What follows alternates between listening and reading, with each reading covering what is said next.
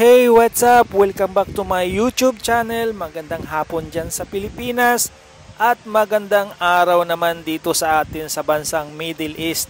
Kamusta nga pala kayo guys? Sana'y nasa mabuti kayong kalagayan na kagaya ko na isang OFW na nagtatrabaho dito sa bansang Middle East at sana'y nasa mabuti tayong kalagayan at ligtas tayong lahat. At sa video nga pala natin ngayon ay uh, sinubukan kong itong EDIY itong aking king size na mattress na matagal ko na nga itong nabili ay ito siguro nasa mga 13 years na sa akin. Dahil ito ay uh, binili pa namin noong uh, ah, 2010 dito sa bansang UAE at uh, ipinadala nga namin dito bilang uh, isang cargo papuntang Pilipinas.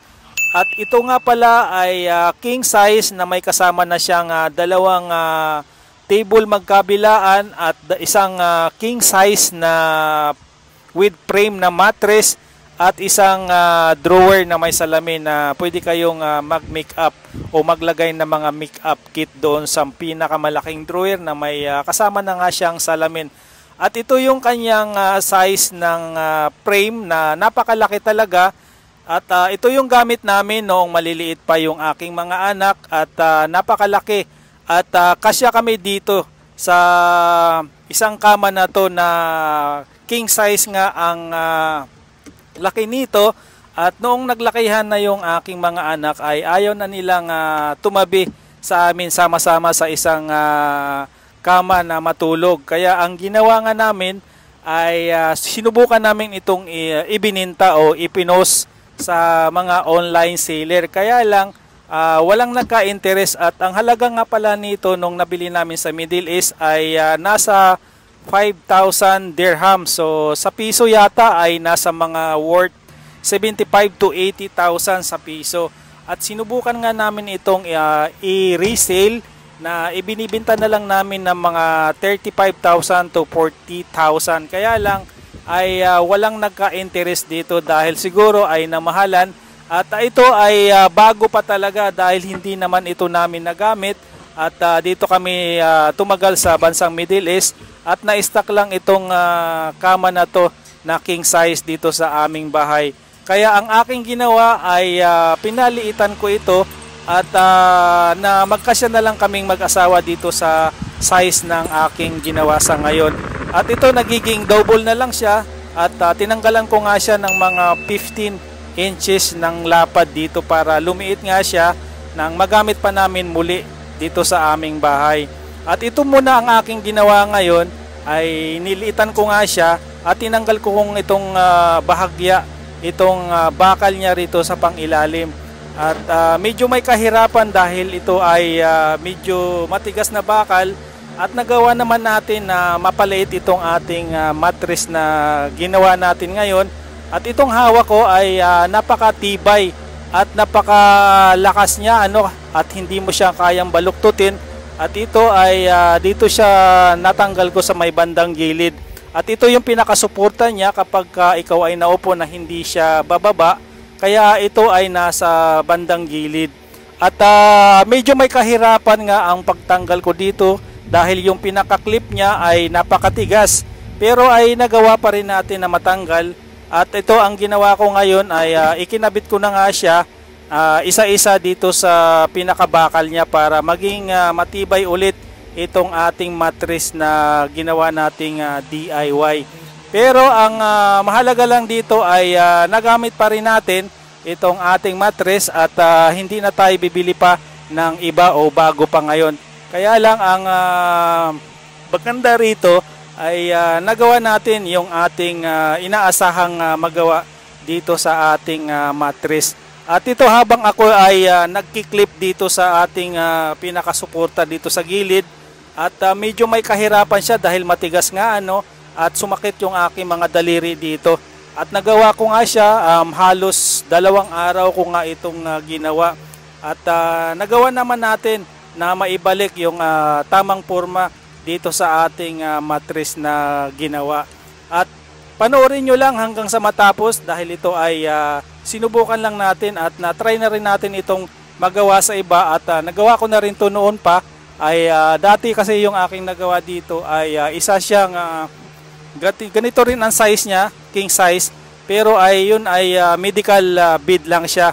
At uh, madali lang siyang gawin dahil ang ginawa ko noon ay uh, hinati ko lang at ginamitan ko lang siya ng bread knife para maputol. At ito medyo may kahirapan siya dahil ito nga para siyang steel na maliliit na alambre pero napakatibay niya at hindi mo siya kayang uh, baluktutin na simple lang. At gamitan mo talaga siya ng puwersa para mabaluktot mo siya. Kaya ito ang uh, pinakamatibay niya. Ang kagandahan lang kasi dito, ang uh, pinaka-padding niya ay uh, talagang hindi tinipid. At makikita mo rito ay limang doble bukod dito sa pa, pinaka green na color na parang stila siya na matigas at uh, sinundan siya ng uh, maliliit na foam na manipis at bago doon sa kanyang pinaka-lining.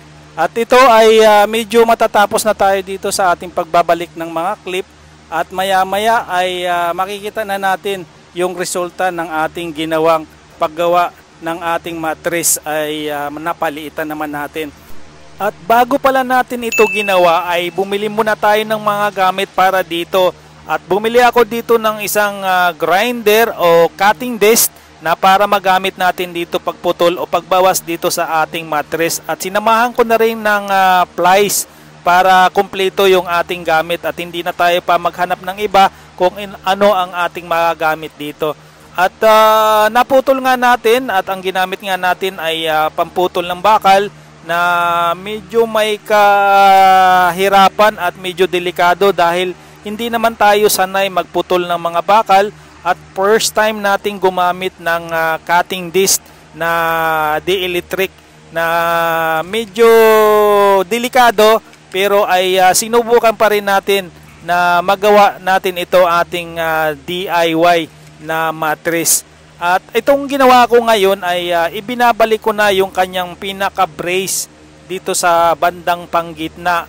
Ang meron nga pala dito ay uh, apat na merong uh, magkabilaan sa bawat kanto na tigi-isa at uh, tigi-isa naman sa bandang gitna. At ito yung ginawa ko ngayon na ibinabalik ko sa dati yung kanyang mga support na bakal dito sa gilid at uh, ikiniklip ko to isa-isa pero hindi ko na siya ibinalik ng tigi-isang clip dahil ay uh, medyo mahirap nga siya at masakit na sa kamay at sa daliri.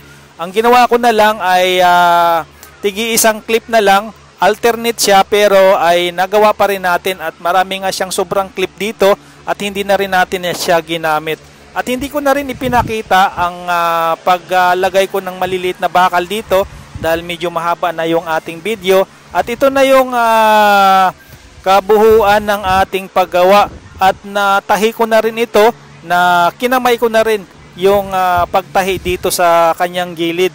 At wala naman tayong uh, gamit makina para pantahi dito sa gilid kaya mano-mano ko siyang ginawa na tinahi at bumili nga tayo ng malaking uh, karayom dito para maitahi natin ng uh, mabilisan.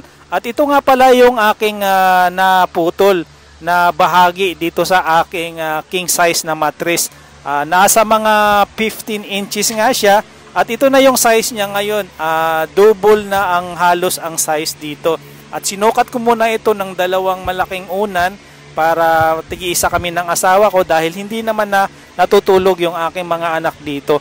At mayroon na silang kanyang-kanyang uh, higaan para sa kanilang uh, tigi-isang uh, mattress at mayroon na rin silang kamang tagi-isa. Lalong-lalo na dito sa aking bunsong babae at uh, ginawan ko rin siya ng uh, isang sariling kwarto na halos dito maubos yung aking oras sa pagbabakasyon dahil yung aking pagbakasyon nga pala dito ay uh, tatlong linggo lang. Kaya halos hindi ako lumalabas ng bahay at dito ko lang uh, ginugol yung aking tatlong linggong bakasyon nung ako umu- umuwi nung uh, nung October 7 hanggang October 30 ako diyan sa Pilipinas. At uh, yun nga ay uh, nagawa pa rin natin yung mga plano natin na hindi sapat yung ating uh, araw doon sa ating bakasyon.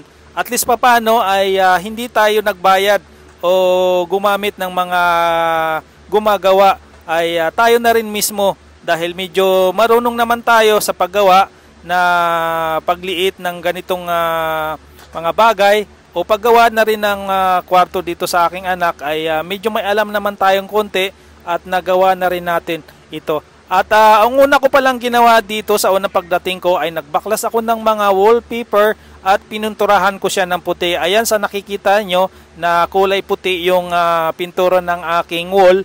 Ay dati kasi yan ay uh, wallpaper yung gamit ko.